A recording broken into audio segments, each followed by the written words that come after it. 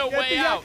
And now a TP from Xiaosheng behind the plate. EDG go for the engage, but the Shadow Surge, Xiaohu with one already, finds a reset for himself. Can they find more is the question. EDG trying to disengage, but Viper doesn't have a way out. Slammed into the wall, walloped down, and now Xiaohu finds the back line.